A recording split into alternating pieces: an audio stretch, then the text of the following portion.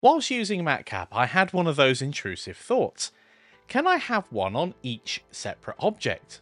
It turns out, yes, yes you can. However, if you've never tried out a MatCap before, if we go back to the viewport shading area at the very top and click solid shaded, if you go to this drop down, you'll be able to see MatCap as one of the options. Now, if we select that, we can see it changes straight away and you can have all of these various material captures and they're great for visualizing your models. However, you can only have one that covers the entire scene. What we want to be able to do is go ahead and assign a mat cap to each individual object, or perhaps even each individual surface. And at the end of the video, we'll even go ahead and create an asset that you can use in all of your Blender files. So what is a mat cap? Well, it's short for material capture and it's a form of optimization. Now what it does is it captures both the surface and the lighting conditions at the same time and you can just apply it to models incredibly quickly. It's often used for pre-visualization. You'll often see someone using this if they're sculpting or creating a hard surface model where you need to see perfect reflections. And what this does is it saves you a ton of time having to set up perfect lighting conditions so you can render your models and see if the lighting and everything is correct. They're nice and fast as well and they've got a wonderful stylistic look. Now we will be creating the shader node setup ourselves over in Blender. However, if you want to, you can go ahead and download my Blender helper asset, which you can just use straight away. First of all, we need to find out where these mat caps are. And I'm quickly going to cover the standard installation and if you installed Blender using Steam. Okay, so on Windows, if you've done a standard installation, you'll find it on your C drive and then under program files, Blender Foundation, if you've got a couple of versions, you'll find the different versions there and then we can go into 4.1 data files studio lights and we've got matcap we can copy all of those over to the desktop.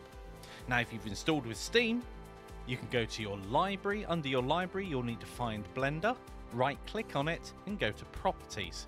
Once you're there you can go to installed files and then click the browse button.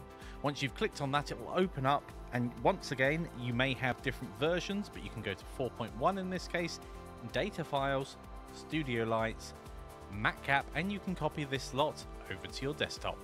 So on Mac OS, if you've done a standard installation, what you'll want to do is go to Finder. Once Finder has appeared, go to your Applications folder. Right click on the version of Blender that you are using, you probably only have one there, and go to Show Package Contents. Once you've done that, you just need to navigate down into Contents, Resources, 4.1 in this instance, if you're in the future, 4.2, 3, etc. We go into data files, studio lights, and we go to matcap, and we can see all of those right there. I would suggest for the purposes of this, if you're following along, then go and copy these to your desktop. Now with Steam, it's a very similar process. First of all, launch Steam, right click on Blender, go to Properties, and then go to installed files. Then you can click browse, saves lots of navigation. And just the same as before, we're going to right click on this show package and just navigate through this until we get to the appropriate locations. So resources, there we can see multiple versions of Blender. And then we can go into here, data files, studio lights, matcap, and there we go. We can copy those to the desktop. Of course, you can add them here as well, but I would suggest doing that within Blender itself if you're adding new mat caps. Okay, so that's all sorted. Now, do let me know down in the comments if you want a more in-depth look at mat caps or even how to create your own. Now let's go ahead. I'm going to create a brand new file here. I'm not going to save what I've done so far. We're going to have Suzanne the monkey because I think she looks the best for this type of show off.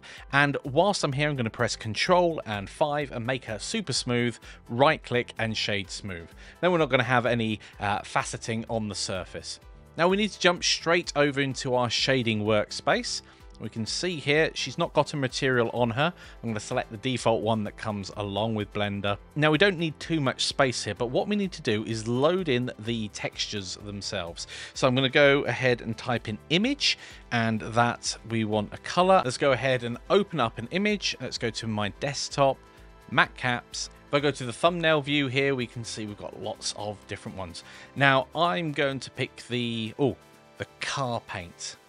I really do like that one. Now, of course, at the moment, it's being applied with UV mapping, which is not what we want. We need to actually transform what's going on because this is basically as you saw a moment ago let's just reopen that for a second this is what the image looks like it's a 2d map that we need to project onto at least half of a sphere and we need to do a bit of transforming to do that so let's go back in here out of this vector, we're going to plug it into first a texture coordinate. So I'm just going to type in coordinate and we're going to plug it into the normal plug. It already looks pretty awesome, but we're nowhere near there yet. So we need to take that and we need to do a transform, a vector transform. So I'm going to search for, you can probably see that I've already searched for it before, so it's at the top of the list. But if you search for a vector transform, what we're going to do is we're going to take it um, from the normals. So we need to use the normals first. We're going to take it from the object to the camera. Now there's a tiny bit of remapping that we need to do because at the moment we'll be looking at the lower part of this image and what we need to do is we need to move it to the center and this is quite a common thing whenever you're playing with images. Uh, we're going to do mapping in this case I don't have to do a ton of vector math going through but we basically need to move the X and the Y by 0.5 and then we need to move the scale by 0.5 as well. And there we go. Have a look at that. Let's just compare it because that looks very, very similar to, let's go to MatCap, car paint here. Look at that. Now it does look different and it will look different because we are rendering our object, not just using the MatCap and in this particular case we can even shade it with Eevee. And this is even better. We've got a bit of baked in lighting there so you do have to bear that in mind. However, now that we've done this, we can incorporate other render effects and also just incorporate into our usual workflow with some really cool stylized effects. Okay, so let's go ahead and make this so we can use it everywhere else. This is the area that we want to keep. Unfortunately, I would love to, but you cannot, as it is at the moment, put a texture image node into a node group. So it's just going to be this, Control and G to pop it in a node group. So I'm going to name it and I'm going to rename it twice in this case. This node here, I'm going to right click and rename and I'm going to call it MatCap. And then finally, where it says node group inside, I'm also going to call it matcap. Okay, so finally, let's go ahead and create ourselves our asset. Now, if we change this view here to an asset browser, we won't see anything but the ones that come with Blender. What we are going to do is we're going to add to the unassigned.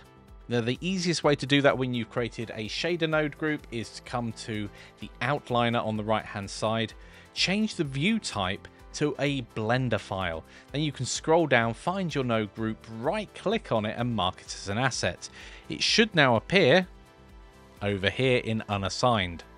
Once you've done that, what you can do is you can go ahead and click on it and pressing N to bring up this properties panel, we can go ahead and load a custom image. And for this, I'm going to use the one that I always go to. change the view type here, car paint. There you go. We've got an icon for it. And that is pretty much done. Now we do need to make sure we can use this in other files as well. So what we're going to go ahead and do is go and save this file. And this is where you'll add your things in the future as asset helper for the moment. I might change the name of that and you might see a different name when you have it. But then finally what I can do is under edit and preferences is where we have our file paths under asset library here, what I'm going to go ahead and do is add my custom assets. So once again, they were on the desktop, matcaps, asset helper.blend, add asset library.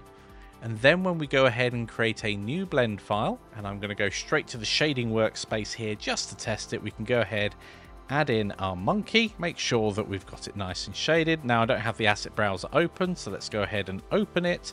And we should find is our matcap. So if we go ahead and create a material and drop that straight in, it's ready to use. And what we can do here is we can pop in our image texture and then finally link those up and we can load in a brand new matcap just in order to test it. Gonna load in the green one. There we go. That looks pretty awesome. Now, the asset browser is an absolutely phenomenal way of keeping all of your stuff together and being able to apply it into new blend files in the future. And to find out more about that, check out this video right here.